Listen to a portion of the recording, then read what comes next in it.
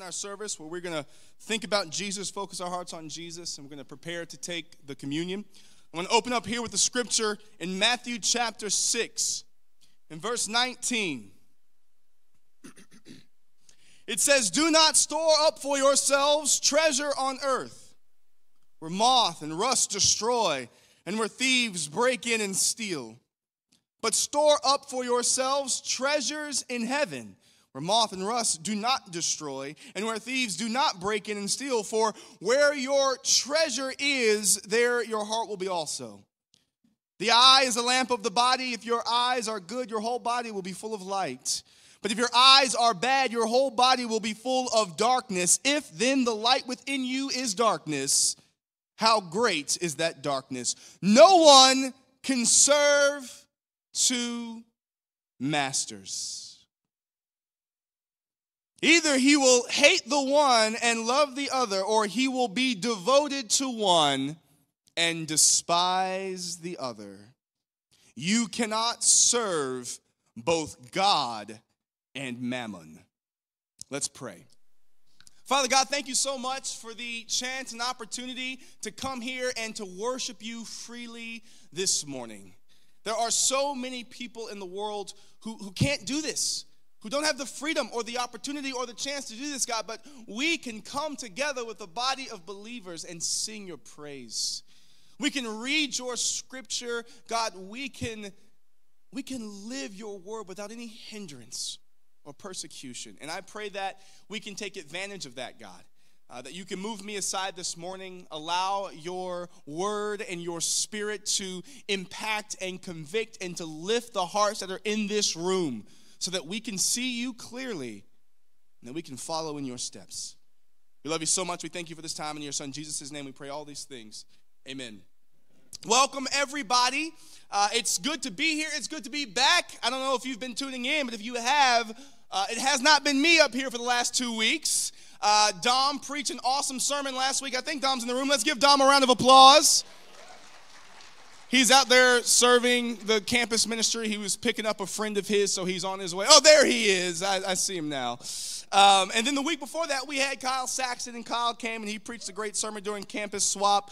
Uh, both of those guys did uh, incredible. If you missed those sermons, or if you miss any of the sermons, I want to encourage you go back and listen to them right? Because we don't write these things in a vacuum and we're not getting up here just to do a dance for you so that on Sunday morning you can be entertained. But all of these sermons are working together towards the development of this congregation and each individual disciple in here. Uh, so I, I, would ask, you you know, even if you can't make it on a Sunday morning or you happen to miss a Sunday morning, please go back and listen to the sermons. Uh, the, the Holy Spirit is guiding us in a specific direction, and, and we who get up here and, and, and speak, we're trying to help us get in line with that. Amen. So Dom started a series last week called The Third Soil, and his first sermon was Trading Life for Worries. You know, he talked about how Jesus cares for us above all else and that we can find sustenance and safety and peace within the arms of God, and therefore we don't have to worry. We don't have to worry about material things in this world. But I think oftentimes uh, when we have a, a sermon series, there can be the thought, why is this what we're deciding to focus on? Right? What is the point of this sermon series? As you know, you know, we, we've, you know, our new vision and mission statement, you know, communion, character, community, and all the sermon series are going to reflect that throughout the year. And right now, these sermons are all about helping us with that character C, helping us become the people that God wants us to be. The, the point of these sermons are to help us to examine the parts of ourselves that are not like Jesus and to rectify those things. You know, and we, we, we began with the Old God series talking generally about idolatry, but moving on from there, one of the things that I have observed is that one of the most dangerous traps of the old gods is the third soil. You know, in the parable about the third soil, Jesus said there are three things that get us caught up in the trap of the third soil. He says, the worries of this life, which Dom talked about last week, it says, the deceitfulness of wealth, and he says the desire for other things. The deceitfulness of wealth and the desire for other things. That's what we're going to be talking about this morning. Uh, the title of the sermon this morning is The Third Soil, Part 2 Mammon Rising. You know, I did campus ministry for eight years. Um, I was converted in the teen ministry. I became a Christian in the teen ministry. Uh, but, you know, I, I, think it is such that when you get to the campus ministry, there's just a lot of freedom there and a lot of you figuring out how to be a disciple on your own time in campus ministry. Uh, and let me say this campus ministry is a false environment, okay? What I mean by that is there's never going to be a time in your life again where you have the amount of free time and flexibility and friends in proximity to you that you do in campus ministry. And I would argue that it, campus ministry creates uh, an environment that is extremely conducive to discipleship. If you know anything about the history of our movement, our movement started from a campus ministry movement. You had a whole bunch of people who were sold out for Jesus who took advantage of the freedom that they had in their campus years and they caught a dream to take the gospel to the rest of the world. Why am I sharing that? Well, a lot of people, a lot of guys my age, a lot of my peers, and, and, and, guys a few years older than me, when it comes to campus ministry, they love campus ministry because it is a place where you're going and you get to encounter the youth and you get to encounter people who are excited and, and they have their whole lives before them and they're discovering Jesus and you're together all the time and you're baptizing people and it's like this great adventure and it's an amazing time. And there are a lot of people, a lot of ministers, I think, they think, man, that's where the world has changed. And it's true, I think God certainly does use campus ministry to change the world. But as I got older and as I as I was a campus minister for long enough, what I started to realize is that one of my greatest faults, you know, what we've talked a lot over the last year and a half about how the church was in an unhealthy spot. And as I thought about it, I'm like, well, how did I contribute to that? Right? Uh, because you know when we when we have conversations like that, you know the truth is you know the whole congregation is at fault, but the leaders are at fault as well, right? Uh, the entire time the church was getting in an unhealthy spot, I was one of the guys on staff. So somehow I contributed to this in some way. And how? And as I've, I've thought about it, I thought, oh, it's because when I was in campus ministry, I had my blinders on, man. I was so focused on the campus that I wasn't looking at the rest of the church. And one day I looked around, five years, six years into being in campus ministry, seven years, and I started to talk with my peers, guys who were my age in campus ministry with me, but they had moved on for several years at that point, when I realized that they were not in a good spot. They lacked direction, they lacked vision, they lacked any kind of spiritual ambition. In fact, the mantra was look, we just need to survive and keep going to church and tithing. And some people, they wouldn't even come to church no more. And it, it, it, made me really start to think. And, and here's the deal I think when we when we get up here and we preach and we talk about Jesus and we talk about discipleship, we talk about what Jesus has called us to. What we're talking about is a lifestyle, not just a belief system. And I think a lot of times we can obsess ourselves with the idea of salvation but not the idea of really submitting our day to day to living like Jesus.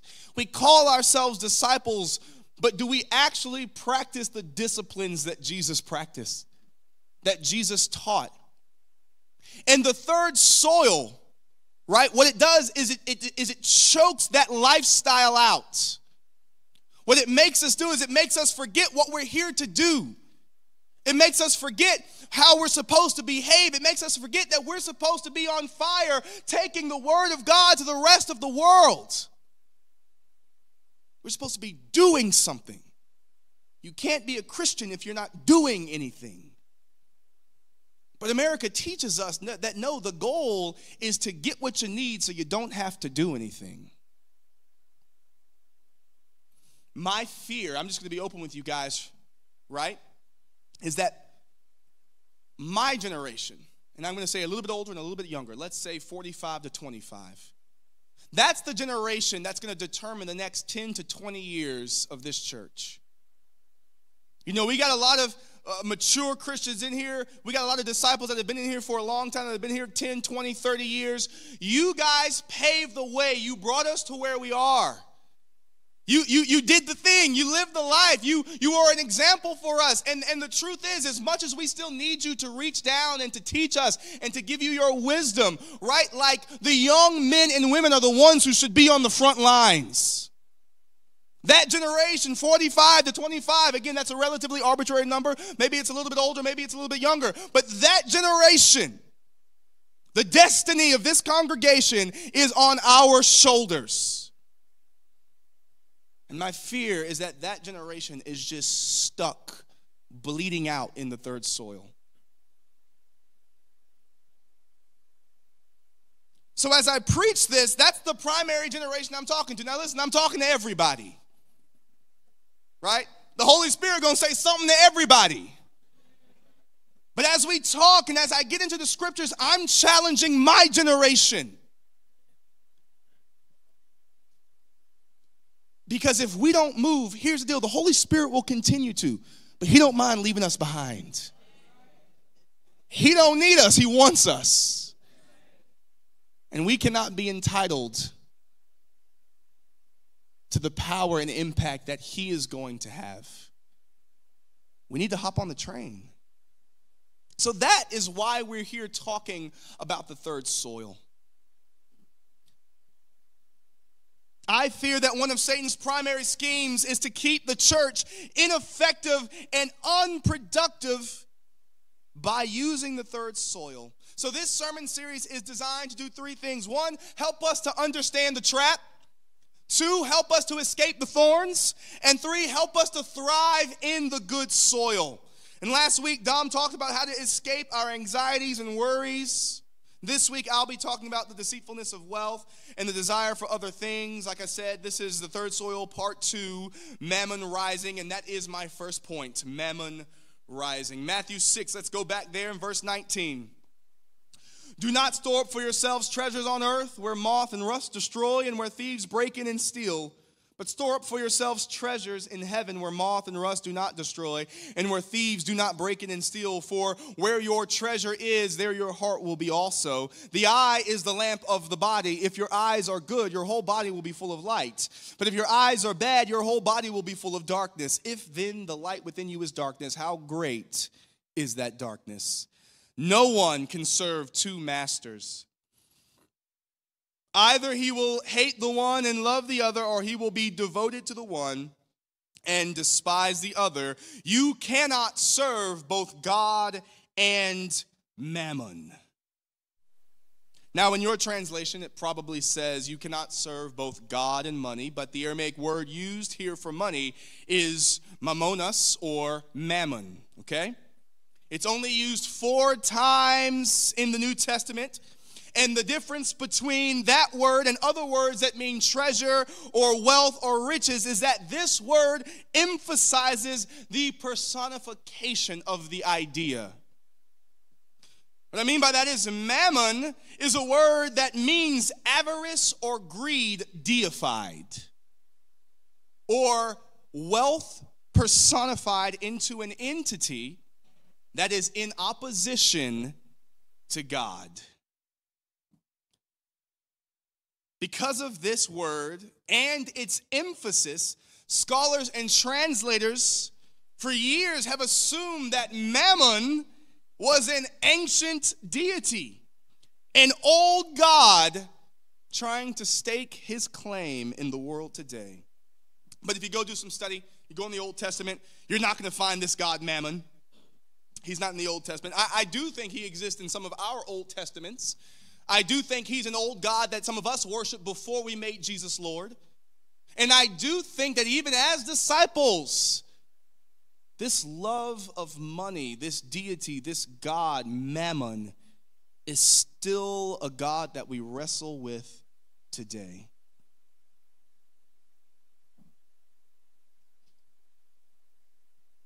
I think Mammon is hungry for our attention. I think the love of money wants to be full on our souls. He is wealth and greed personified. He is powerful enough to enslave us. He is strong enough to force us into voluntary servitude.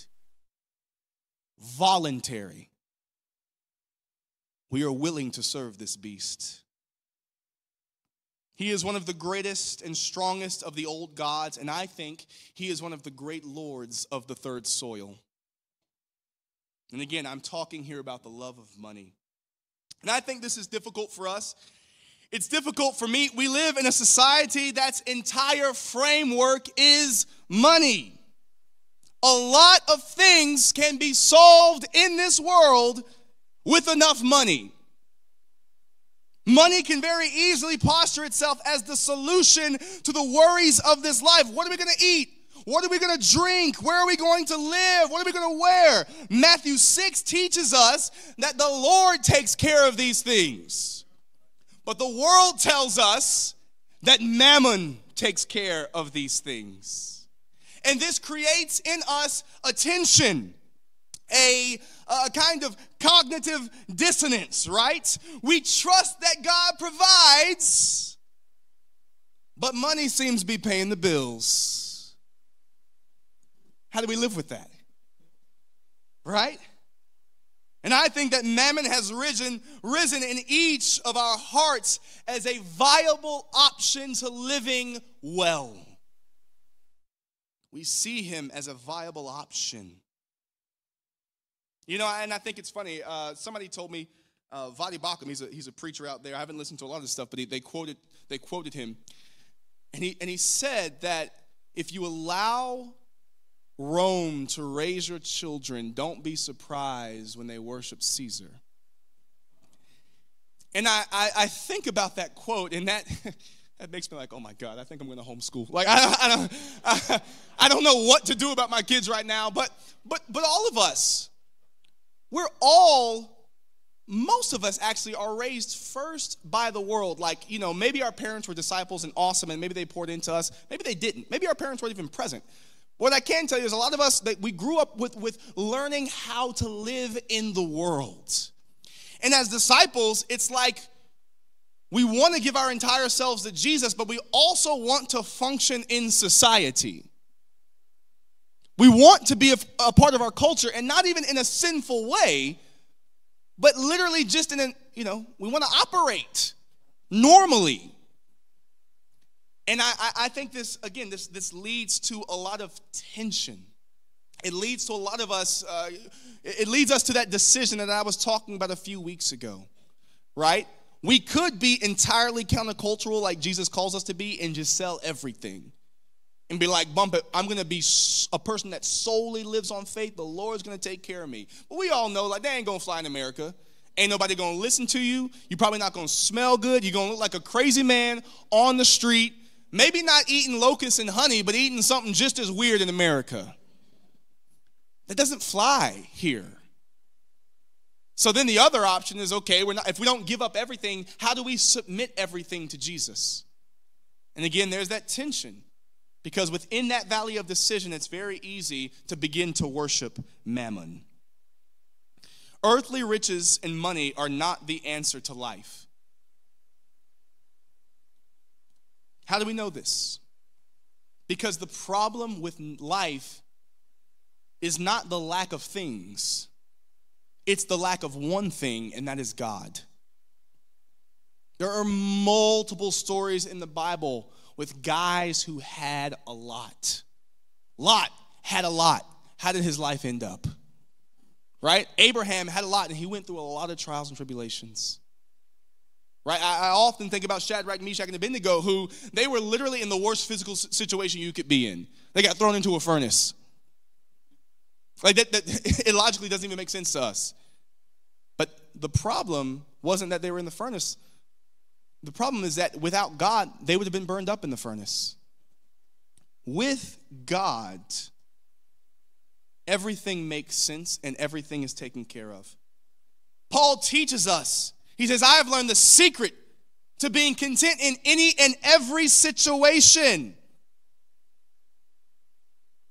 He says, whether I'm rich or poor, hungry or full, he teaches us that even though we lack things, we can, we can lack being rich, we can still be content and joyful. We can still be satisfied because of the presence of God and the power of the kingdom. So, this leads me to a few quick subpoints that I want to touch on in this point specifically.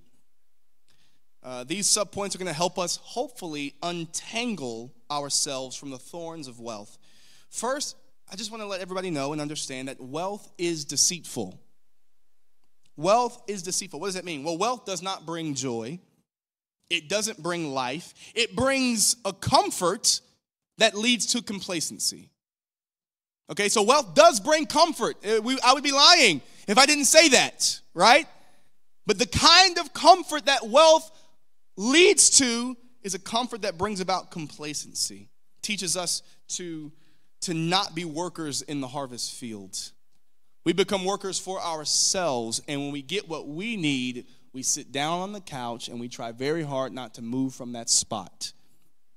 Right? My daughter is learning how to do that, and I, I don't like it. I'm trying to teach her not to do it. But if she's sitting on that couch, she'll be like, Daddy, give me a snack. Daddy, give me my water. Hey, look, her water be on the table two feet in front of her. She legit does not want to get off. The, and I look at her and I have to teach her, Margot, God gave you legs, you use them. She gets mad at us, but now she has to get up and get whatever she wants. Um, but you know, I, I, I look at her and I'm like, yep, that's my daughter. That's exactly what I want to do with my life. Uh, you know, just being honest, just being open. Wealth is deceitful. It's the cornerstone of a society that is in opposition to God. Wealth is also empty. Like it literally doesn't exist. Think about it. Gold is just a rock. Diamonds, they're just rocks. Now, they may be rare, but human beings have decided to kill each other for millennia over rocks. All right, well, let's say, well, we don't trade by, you know, rocks anymore. We use paper, right? We, okay. So that means for millennia, human beings, or maybe centuries now, human beings have killed each other over paper. You say, okay, well, we don't use paper anymore. We, we use digital stuff. We got credit cards. Okay. So for the past few decades, human beings have decided to kill each other over plastic and digital code. It doesn't exist. And the Bible talks about this that we take stone and wood and we carve idols out of them. We don't think about it like that. We worship things that are literally powerless, right? Isn't that what inflation is? Something about the value of gold? I don't know. Don't ask me. I'm not an economics guy. But what I do know is even normal society is recognizing how not valuable the dollar is, how empty the dollar is. And oftentimes, the more money you have, the more you need. Right? I feel like I have a lot, okay? I feel like I'm living the dream right now. And I don't, I don't, I, well, in, in, in the view of the world, I think I make a lot of money. I think in view of some of you guys, I probably don't make a lot of money. But sometimes I'll think to myself, like, what would I do with 10,000 more dollars? And I literally think, I have no idea. I only need like 3,000 more. That's all I need. And I'll be, and I'll be real straight. I could actually go on vacation at some point. You know what I'm saying? Right now, you know, eating out, you know, we go to McDonald's like, we going big today. But I think if I had $10,000 more, what would I do? And my dad said, look, you'll find a way to spend it. Everybody does. The more we have, the more we'll spend. Why is that? We can never get enough, can we? That's how you know it's empty. You keep eating, you keep eating, but you're never full. Also, finally, this last little subpoint wealth is a tool. It is a means to an end, not an end. It is no different from a car or a hammer. It has a specific function. But a lot of us see it as the goal. We have a decision to make. That is, to use our wealth and riches either for the glory of God and His kingdom or for our own desires. And it's that decision right there, right? How will we use the blessings that God gives us? It's that question that I think is deeply important to who we are as Christians, and that leads me into my second point squandered inheritance. Squandered inheritance. Luke 15, verse 11. Now I'm going to start in verse 11, but this is, uh, you know, the story of the prodigal son, the lost son. That you got an older son and a younger son. The younger son comes to the father and he says, Give me my uh, share of the inheritance early, father. His father's like, All right, here you go. The guy takes all his money and he goes, and it says that he squanders it in wild living. Wastes everything. He's eaten out of a pig pen. He realizes I would be better off back in service to my father in my father's house than out here eating pig gloop, right?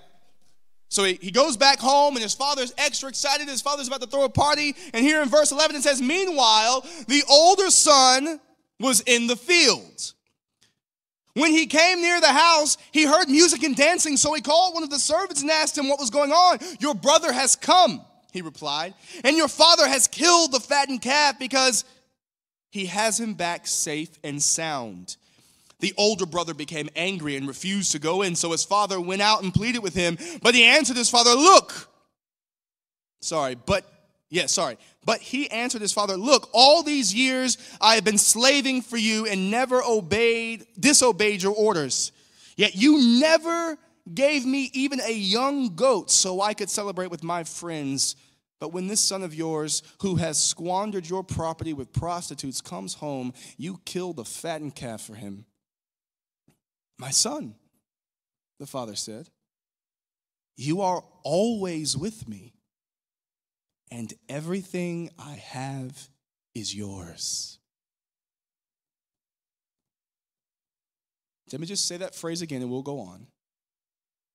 But he says, You are always with me, and everything I have is yours. So, parables. Parables aren't about you, right? Probably learned that before in some exegesis class. Jesus wasn't like, you know, let me think about Dom Camerino and write a parable about him. Parables about very specific things, and they have very specific points. A lot of the parables, most of the parables, were pointing out the entitlement of the Jews, how they believed that they were God's one and only people, but how they had actually not been the people of God that they needed to be, and how God was going to open the kingdom to other people. Right? That's the difference here between the older brother and the younger brother. But as Christians, the same rotten heart that the Jews developed is the same kind of rotten heart that Christians can develop. Because that rotten heart comes from the entitlement of thinking, I'm God's person, I'm God's people, right? And if it was the Jews back then, it's, it, then it's the Christians today. So that means the lessons that Jesus is trying to teach the Jews are the lessons that we need to learn as Christians. We love reading this scripture and being like, yeah, we're the younger brother. No, we're not. If, if you're a Christian, you're not the younger brother. But let's go on. Something about this parable jumped out to me as I was developing the sermon. At the very beginning, the younger brother asked for his portion of the estate, right? He asked for his inheritance early. He wanted it early. And I don't think we often think about this. But I think that the attitude of the younger brother is the general spirit of society. We all want the blessings of God whether that be spiritual or material. We all want the blessings of God as soon as humanly possible. Like, God, you know, give me that good job, right? God, give me that raise. God, give me that new car. My wife and I need this, or we need that, right? God, give us the money to just do this much more. How often have we prayed for those things? God, give me this promotion. We all want the blessings of God early. And that's all the brother was asking for. He's like, look, just, just give me it all right now. And I don't think that's a bad thing. Why would it be bad to recognize that our God is a good, good father? that He wants to lavish on us blessing after blessing after blessing. I don't think it's ridiculous to ask Him for those blessings. My kids certainly don't think so. They wake up in the morning, they look at me and they say, Candy. You're not going to get candy in the morning. And they have no shame in asking for exactly what they want. We should have no shame in asking what we want from God. It's not a bad thing. Don't clap just yet.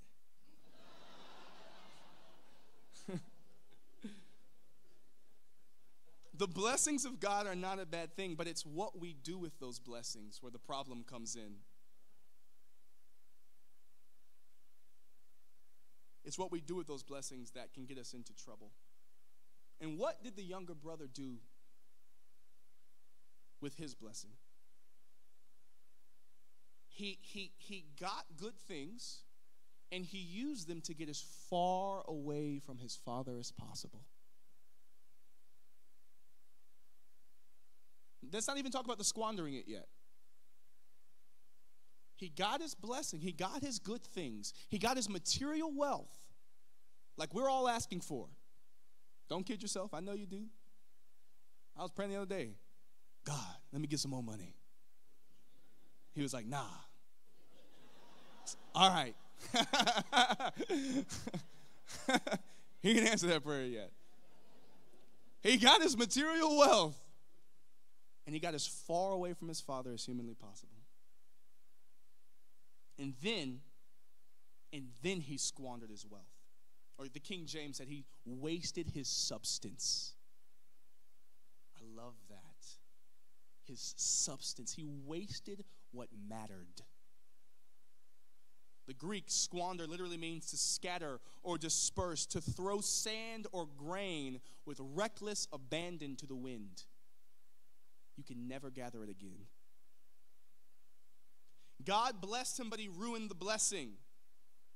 He chased the old gods, he chased comfort, he chased satisfaction, obviously missing the point that those things ultimately came from his father. Many of us pray for material blessings, wealth, and riches, and societal success. And amen. I'm not telling you not to do those things because all of those things can be used for the glory of God. But how are you using your wealth and riches? That's my question. How are you using them? Jesus said you cannot serve two gods, right? Let's all ask ourselves the question, right? At the end of our life, who will say, Well done, good and faithful servant? Will it be Jesus or will it be Mammon? Think about it. Who are you serving? But I don't think that's the gut punch of, this scripture. The parable gives this man a redemption story right? The younger brother is not the bad guy here. And I think each of us can make very simple and easy decisions today to redeem the way that we use our wealth and our riches. Here's just a few easy decisions that we can, we can make. One, we can tithe. We can give financially to God and His church. And let me say this there are some of us who do not do that. There are some of us who do not understand generosity, who do not, who do not understand this act of worship, some of us who do not understand stewardship. And you know who you are. You know exactly who you are. And I would argue not doing this, not making this easy decision is just one of the ways that we serve mammon. So if you ask yourself the question, who's going to be praising me at the end of my life, and you don't give to the church,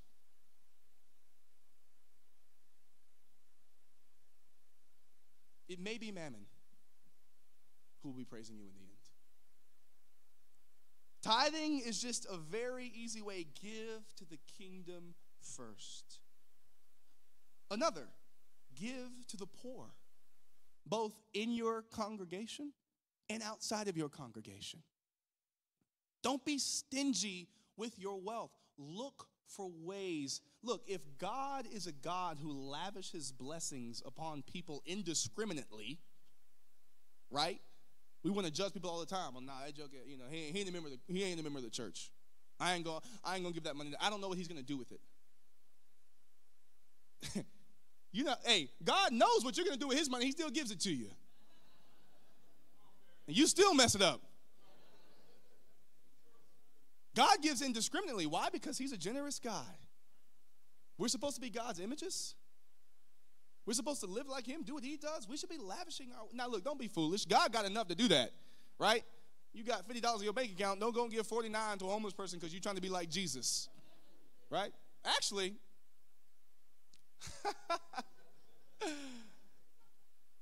there's biblical precedent for doing that, right? now that I think about it. It's funny, even the ways we talk about wisdom when it comes to money, man, it's very worldly wisdom. It, it never leans towards faith. I love what Matt Gilpin was saying that giving is ultimately about faith. And faithful people do amazing things for God. So give or tithe, give. Here's another thing reject excess right? Reject excess. What I mean by that is God calls us to a, a, relative life of simplicity. And, and one of the primary ways that we know there's a love of money or a love of material things, if we just look filthy rich, right? We have so many things that we just don't need. Now, I'm not necessarily like, I, I honestly don't think there's anybody in our church that does that. If you think you do, amen. Uh, you know, check your heart, read your Bible, you know. Um, but I, I think you know there's this there's a there's an Instagram account called Preachers and Sneakers, and you got these mega churches, right, with these preachers who their lives are so lavish, and they have these giant houses and the, and the shoes that cost ten million dollars, and I'm like, you can buy knockoff shoes that look just like that for ten bucks. You know what I'm saying? Nobody cares, you know. Um, reject excess, right? Seek to live a more simple life. Be hospitable, right? If you have a home, make it a light. And, and finally, just live wildly towards God. And I love how the scripture talks about he went in wild living and squandered his wealth. I want us to be creative. Look, if we have a lot of wealth and riches, be creative and wild and, and, and just imaginative about how you use your wealth and your riches to build God's kingdom. You could go anywhere. You could do anything. You could serve anyone. You could start a foundation here or orphanage there or I don't know. You know, you could pay for a whole group of people when you walk into a Starbucks. I don't know. I don't know what it is. But use your worldly wealth to win people to Jesus. These are just some ways, some ways we can make some specific decisions to have the same redemption story that the younger brother had. These are easy decisions. The scary part comes next. Because even the world can understand what I just said about the younger brother. But as Christians, our fate, like I said, is more often the fate of the older brother. Go to Ephesians 1. Ephesians 1:13. It says, "And you also were included in Christ when you heard the word of the, uh, the word of truth, the gospel of your salvation." Having believed, you were marked in him with a seal, the promised Holy Spirit, which is a deposit guaranteeing our inheritance until the redemption of those who are God's possession, to the praise of his glory. The, the Holy Spirit is a deposit guaranteeing our inheritance. It's a piece of our inheritance. It's the piece of our inheritance that we get early, just like the younger brother asked for. Okay? The scary truth about the parable of the prodigal son is that both brothers squandered their wealth. Both brothers squandered their inheritance. The younger squandered his material inheritance, but his soul was saved because that was just money and riches. When it was gone, when he ran out, he understood how deceitful it had been. And he went back to the place of life. The older brother, though, sat in the midst of his inheritance the whole time, but he did nothing with it. He had all the glory, all the power, all the goodness of his father's kingdom around him, yet he wasted it all. He sat idle for years. His brother might have been in wild living, but he was sitting in dead complacency, one that rotted not his wealth, but his soul.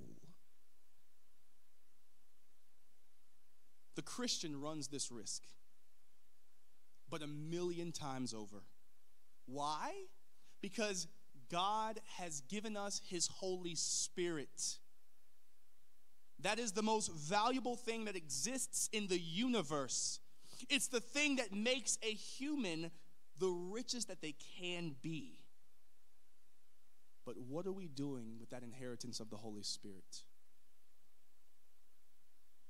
What are you doing with that insane amount of wealth that you have?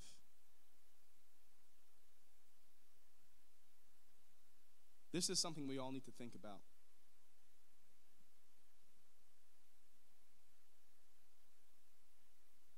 And I'm not talking to, to the non-Christian right now. If you're if you've not decided to make Jesus Lord, I, I want to emphasize how good it is to have the Spirit.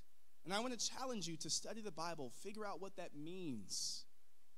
Give your life to Jesus. I'm talking to the family today. Those of us who have made the decision. And like I said, I'm talking to everybody, but I'm talking to my generation because we're the ones who are in the most danger of this. How much sense does it make to have the Holy Spirit but to squander Him, to waste Him, to take Him like a handful of sand and throw Him to the wind? How much sense does it make to ignore Him? The ways He's trying to transform you turn you into being more like Jesus, the ways He's trying to move you, trying to teach you how to think and how to speak, how to treat other people, how to love well, how to bring about the kingdom, how to act like His Son. How much sense does it make to ignore Him, to squash Him down, to grieve His goodness and power? Church, this is the ultimate effect of the third soil. It's not just that the thorns squeeze the growth out of us, it's that they lull us into a spiritual sleep, a quiet rebellion that rejects the impact of the Holy Spirit. For some of us, the danger of the third soil is not simply worshiping mammon, it's burying the Holy Spirit in the casket of our earthly bodies so that he does not see the light of day, and therefore the world will not see the light of God through us. Are you squandering your spiritual inheritance today? We each need to examine our lives we need to examine our day to day. We need to examine how we spend our time, how we behave, how we speak, how we think. We need to examine how we treat people, our spouses, our children, our roommates, people who don't look like us or have the same life experiences, the poor and the needy, the disabled. We need to examine it all and ask ourselves are we squandering the inheritance of the Holy Spirit? And this, this isn't an ethereal question that I'm asking. Right? Because a lot of us, we know about the sins of commission. We're like, I'm not out doing that and this. I'm not out in wild living. Yeah, but you might be sitting in the house of God doing nothing. Or even more than that, some of the sins that you have, you feel like they're justified right? In the, in the privacy of your own home, how you treat your children, how you treat your spouse, the things that you say or, or the thoughts that you think. Are you actually yielding to the Holy Spirit? Or are you just using the Holy Spirit to justify, again, your ridiculous sinful actions because you feel entitled? I got him now. I can do whatever I want. And if that means I don't feel like doing anything, I can do that too. That's not how the kingdom works. And you shouldn't be surprised on Judgment Day where Jesus is like, I don't know who you are. You're like, yeah, but I went to church, right? I went to D group, right? I did a community service that Perry asked me to from the pulpit. It's like, guys, that's the bare minimum. Are you actually living like Jesus? Are you actually letting the Holy Spirit transform you? Or are you burying him in the tent of your earthly body? Are we sitting with the presence of Christ in us? Are we sitting among the house of the living God, but not being transformed by him? Not living in accordance with his way and his will. If we do not repent from this, we may find great comfort here in this world for the small amount of time that we will be here, but we will find great discomfort for eternity. It's time that we escape the third soil and truly respect the house of God. My third point the house of God. I want to read, I want to end here by reading a few Psalms. I, I think the problem with serving mammon and the problem with the two brothers is that they didn't understand how good it was to be in the Father's house. Neither of them understood. One got far away from it, ruined his wealth. The other stayed right there, ruined his wealth. They didn't understand how good it was, how good it was to be in the house of their father. And that's the same mistake we all make. It's the same lie that Satan has been telling us ever since he convinced Adam and Eve that God was holding out on us and that the world had something better to offer. But I think some of these brothers who wrote the Psalms, they understood. I want to close here. I don't have a large point here explaining, you know, I'm just going to read these scriptures that talk about how good and wonderful it is to be in the presence of God. Because that's what I want to convince you of today. Not to not worship mammon, not to not squander your wealth. I'm just trying to highlight for you what you have, what you're in possession of. The Father said, He said, You are always with me and everything I have is yours. He meant those words. And God is saying those words to us. So let's listen. Let's consider what I'm about to read. And let's embrace with earnestness and sincerity these words of God. Psalm 84. How lovely is your dwelling place, Lord Almighty. My soul yearns it even faints for the courts of the Lord. My heart and my flesh cry out for the living God. Even the sparrow has found a home, and the swallow a nest for herself where she may have her young, a place near your altar. Lord Almighty, my King and my God, blessed are those who dwell in your house. They are ever praising you. Blessed are those whose strength is in you, whose hearts are set on pilgrimage. As they pass through the valley of Baca, they make it a place of springs. This goes right back to the living streams, to the river that goes and bring life. We don't just sit in the house of God like the older brother. We go live wildly, but we take his blessings and we heal the worlds. As they pass through the valley of Baca, they make it a place of springs. The autumn rains also cover it with pools. They go from strength to strength till each appears before God in Zion. Hear my prayer, Lord God Almighty. Listen to me, God of Jacob. Look on our shield, O God. Look with favor on your anointed one. Better is one day in your courts than a thousand elsewhere.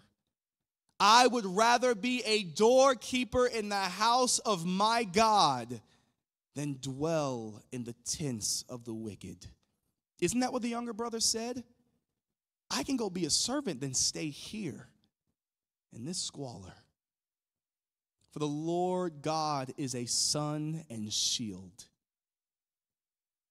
He brings warmth, life, protection, safety, and peace. The Lord bestows favor and honor. No good thing does he withhold from those whose walk is blameless.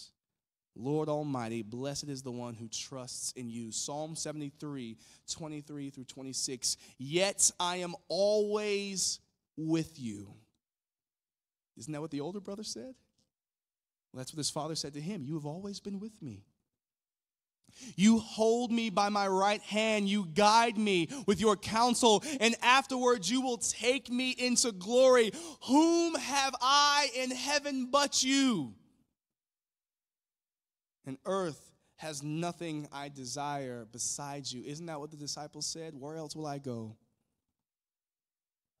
Where else would I go?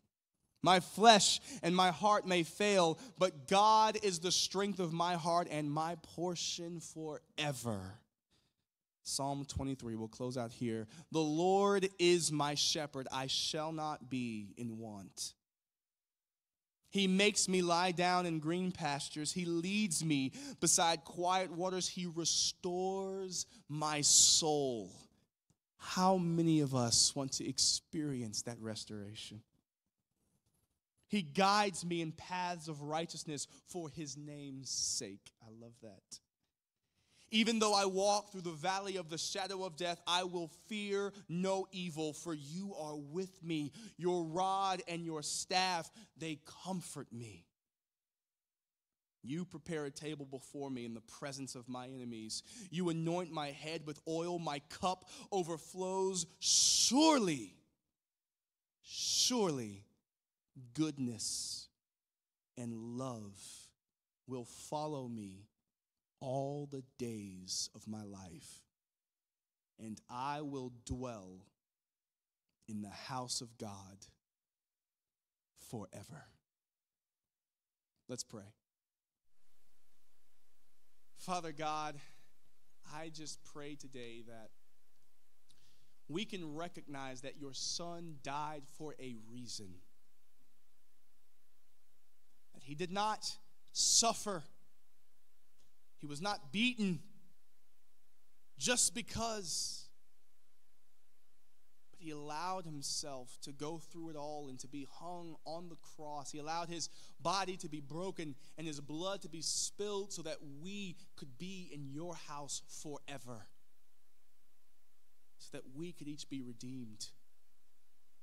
So that we could share in your inheritance. I pray that we can contemplate that today and not even just the sacrifice that Jesus made, but why he made it.